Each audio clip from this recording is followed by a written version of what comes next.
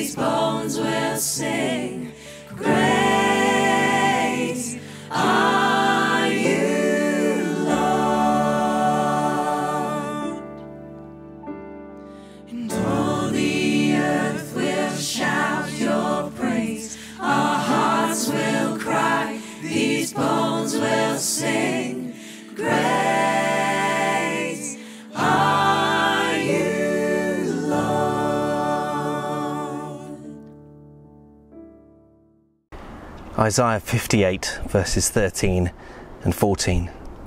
If you keep your feet from breaking the Sabbath and from doing as you please on my holy day, if you call the Sabbath a delight and the Lord's holy day honourable, and if you honour it by not going your own way and not doing as you please or speaking idle words, then you will find your joy in the Lord.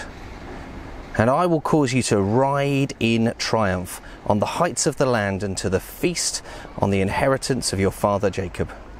For the mouth of the Lord has spoken. What a, what a fascinating Bible verse that is. It's talking about a Sabbath, which is the day of rest. And rest is something I think we do, or in this culture, really badly. Now, I don't know about you. I mean, I'm a, I'm a bit of a doer, maybe not as much as, as some in the church, but I, I like to do stuff, and there's always stuff to do. So a day off can often not become a day of rest or a day with God, it can become a day of tasks. And that makes us feel useful. It makes us feel like we're contributing and helping and making a difference and changing things and easing some of the frustration that there can be because of the list of things that needs doing that builds up. But it's not rest. It's not time off. And I'm sure people in um, an ancient Jewish culture understood this as well. Their work, their livelihood was important to them. So if they took a day of rest, that would have affected their livelihood. They could, they could earn more, they could support their family better if they pushed on through and they carried on working. But it says here if you call the Sabbath a delight, and the Lord's holy day honourable. And if you honour it by not going your own way or your culture's way, and not going as you please or speaking idle words, then you will find joy in the Lord. There's a challenge. How many of us grudgingly try and rest rather than using it as an opportunity to find joy in the Lord. It's a spiritual discipline. Something you need to practice at, to work at. Something you need to be graceful in as well, because actually, you won't always do it well. Sometimes when we fall short, sometimes when we, you know, we've set aside this wonderful time for rest and it doesn't go right and we fall short and we beat ourselves up and we go, that's it, rest is spoilt for me now, it's done, it's dusted, I can't do it. No. If we get knocked down, if we fail, do we give up or do we try again? Is it time for us all to try again at working out God's plan for rest for us? Because a lot of that's going to take incredible discernment. Discernment as to what to lay aside, what to get help with. We need wisdom. We need God's help, godly eyes on our earthly human rest. for the mouth of the Lord has spoken.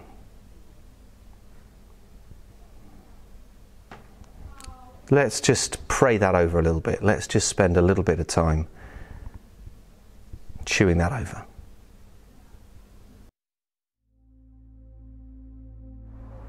Lord God, help us to rest. Shabbat. Rest our minds and our bodies, our souls and our spirit. Recharge us, Lord, as we dwell in your presence. Help us lay down the fears where we don't yet trust you. And with the situations that weigh us down and take rest from us, help us to give them to you. Remove our desire for perfection, our need for acknowledgement. Lord, help us to rest. Lord God, help us to find peace, shalom, in the madness of life. Our increasing heartbeat slowed by newfound faith in you, the Creator, the Father, the one who flung stars into space. He loves me, little me. Help me to slow down and find calm as I ponder that. God and me, me and God. Me and the creator of all things. The maker of atoms wants me to find time for him. And he will give me all the time in the world. If only I would slow down to talk and rest, to lay in his presence. Shabbat and shalom. Rest and peace in you, Lord God. Amen. So, church family, um, that's it for our slightly shortened church online today. I really hope and pray that some of what we've looked at today just sticks with you and dwells with you as we try and find a way to do rest better. So I want to I want to say a blessing over you. And it's quite pertinent given what we've been talking about today. So please as we finish this service, take this blessing to you, into your heart and soul. Lord bless you and keep you. May he make his face to shine upon you and give you peace. In the name of Jesus. God bless and amen.